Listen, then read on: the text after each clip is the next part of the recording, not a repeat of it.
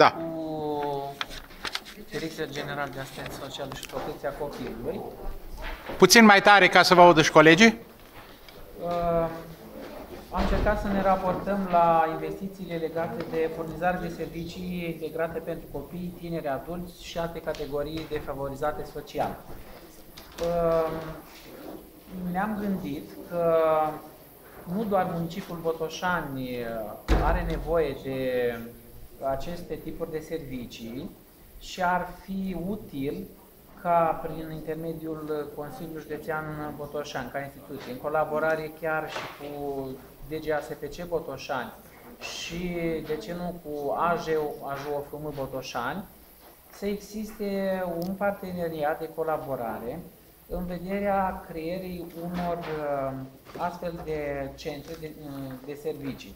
Ai, e, ar putea fi axate chiar în mediul rural, Uh, Da, un centru medical ne-am gândit uh, inițial noi, uh, în care să uh, beneficie, la care uh, acum, centrul medical respectiv uh, să aibă uh, ca activitate... Deci faceți exactă- unul sau două proiecte, unul sau le, le fuzionați.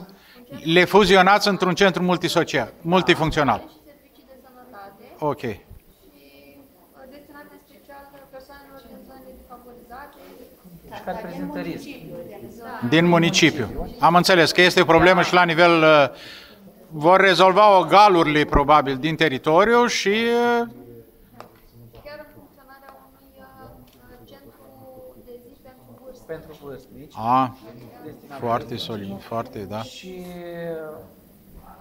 totodată centrul respectiv uh, va încerca să consilieze și să responsabilizeze persoanele vizate pentru o funcționare optimă a acesteia și a uh, implicațiilor sale. În sensul că uh, în mediul rural, de exemplu, există foarte multe persoane care au uh, abilități profesionale, dar nu sunt calificate legal, profesional și atunci meseria lor nu poate fi recunoscută. Uh, și inițial ne gândeam la o cora- colaborare cu AJO Fumeo pentru a încuraja micii producători din mediul rural în vederea... Asta e povestea. Poftim? Aici suntem în municipiu. Am înțeles, dar colaborarea este... Zici că se colaborează, municipiul să colaboreze cu cei din uh, galurile rurale. Da. Deci o o colaborare extensie. La nivel de județ. Nu doar axat pe municipiul Botoșani sau Dorohoi. Sigur, am văzut că funcționează și cu bune rezultate asemenea Având în vedere tipuri de... că co- Mai ales în că... rural avem uh, potențialul agricol, piscicol, știu eu, meșteșugăresc, care ar putea uh, susține. Deci se vede, se întrevede, deja galul nostru contează. E luabil, e, e bun de partener și cu, prin acțiuni comune cu alte galuri. Și unele sunt foarte bune la noi în județ, au rezultate bune. Este un lucru extrem de util, de exemplu, înființarea unui centru multifuncțional.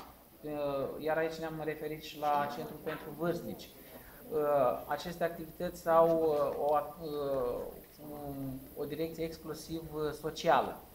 Însă celelalte categorii, pro- categorii uh, de persoane vulnerabile uh, poate ar dori să se integreze social și să nu fie marginalizate prin, uh, prin imposibilitatea de a-și manifesta vocația profesională, care ar duce la o, Trei minute jumate, atenție. care ar duce la o relansare economică chiar pe plan local Am înțeles. uh, încurajând uh, beneficiarii de ajutoare sociale să uh, adere la activități profesionale la care ei pot face față. Ok, e, o, e foarte la modă treaba aceasta. Hai să dăm de lucru la cei cu beneficiari de ajutoare sociale. Da?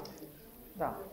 Cam astea sunt ideile, bine? Și, bineînțeles, uh, ne-am mai gândit în cadrul acestor uh, centri de servicii la segmentul de consiliere și planning familial, având în vedere că există foarte multe cazuri sociale, uh, ar fi o consiliere benefică care ar duce la reducerea riscului de mulțirea numărului de persoane care uh, devin ulterior uh, asistați social.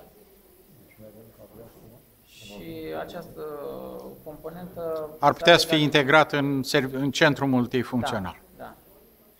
Ok. Întrebări din partea celorlalți participanți, observații, Completări? S-ar părea că nu sunt. Aplauze. Bun și util.